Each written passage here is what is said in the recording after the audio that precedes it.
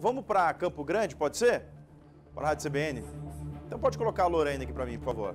Fala, Lorraine, tudo bem, minha querida? Bom dia, como que você está? Oi, Ruth, bom dia para você. Bom, tudo bem por aqui e por aí? Bem também, né? Agora fazendo aí, levantando os prejuízos, né? Por aqui também tivemos um, um temporal assustador, ventos aí de 60, 70, 80 quilômetros por hora, areia que levantou, assustando muita gente. E obviamente que Três Lagoas não é exceção, né? Outras cidades do estado também registraram cenas muito parecidas e em alguns casos até pior, né?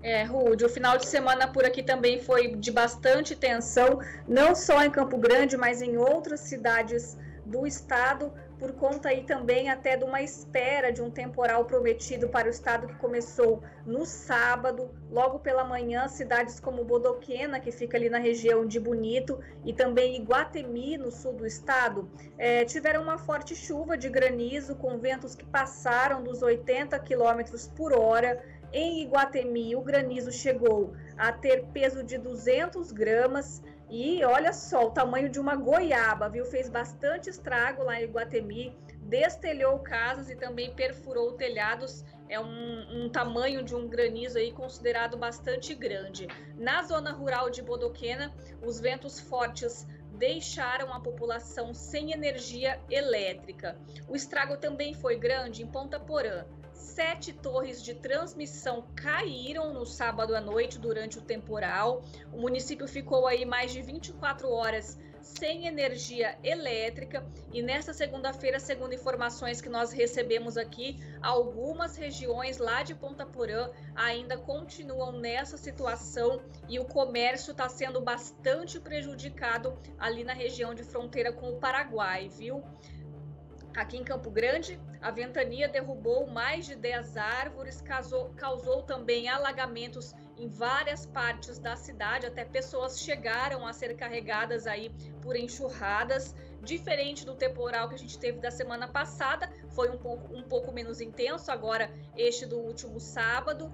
Na, no outro temporal que a gente teve na semana passada, que nós acompanhamos aqui também, foram mais de 200 árvores que caíram, bairros que ficaram 3, 4, 5 dias sem energia elétrica. Dessa vez o vento derrubou aí uma menor quantidade de árvore, os impactos foram menores, mas sim, há prejuízos que Campo Grande continua enfrentando aí por conta dos temporais, viu? A prefeitura chegou a montar uma força-tarefa, porque o esperado era de que um vendaval pudesse ser, ser, semelhante ao anterior. Nós estamos com um probleminha que eu não consigo visualizar se a gente está rodando algumas imagens, mas nós temos imagens do temporal que passou aqui em Campo Grande. Hoje, aqui na CBN, nós mostramos o caso de uma cuidadora de animais que ela resgata animais na casa dela, então ela pediu um socorro aqui para nossa redação para que divulgasse a ajuda que ela está precisando, porque a casa dela foi destelhada e os animais que ali vivem acabaram ficando numa situação também bastante complicada. Ela perdeu medicamentos que esses animais, que são gatos e cachorros,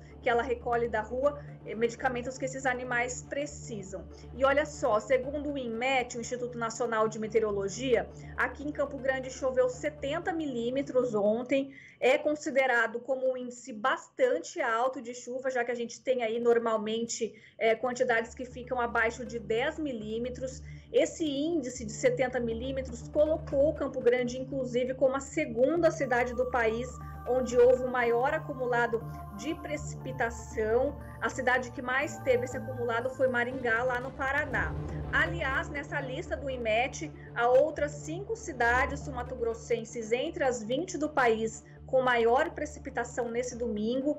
Inclui aí Nova Alvorada do Sul, Angélica, Rio Brilhante, Ribas do Rio Pardo e também Santa Rita do Pardo, viu? Mas a boa notícia é que por aqui o tempo amanheceu com temperatura mais amena. Agora o sol já brilha forte lá fora com o céu aberto e previsão de chuva por aqui por enquanto só a partir de quarta-feira, viu?